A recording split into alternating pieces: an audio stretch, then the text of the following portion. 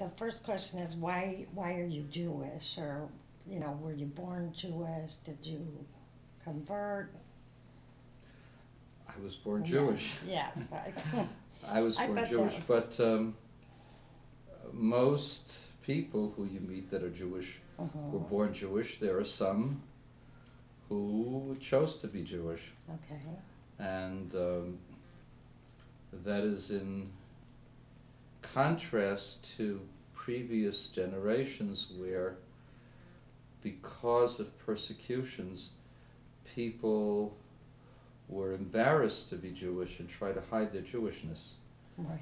And today, as time goes on, hopefully more and more people will identify themselves as Jews. It is my belief that there are over 20 million, 20 to 30 million people in the United States who come from Jews. They mm-hmm. may or may not be halachically Jewish mm-hmm. because Jewish identity is based upon the mother. But using simple mathematics, um, at least half of them would still be Jewish because as long as they are children of a Jewish mother, okay. then they would be Jewish. Okay. And many of them just disappeared uh-huh. because they were distant and because of the difficulties and because of past persecutions. Persecution. And it is my hope that that people will begin to emerge, just as many people who find interest in religion and looking at the roots of religion find that, and I will say this and hopefully will not be offensive to you, no. that authenticity is based upon originality. God doesn't change his mind. The Bible was given by God. Mm-hmm. In case God changes his mind, God has to come in the same um, venue that God came the first time and presented it. Now, we have that the Torah was presented to all of the Jewish people at one time.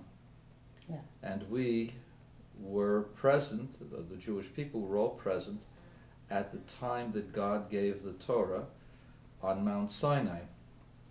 Now, if there was a change, that would require God coming to the entire people saying, I've changed my mind. No, forget about the old one. We, okay. we got a new, a, a new context. That did not happen. And therefore, any claims that God changed his minds are actually 100% false.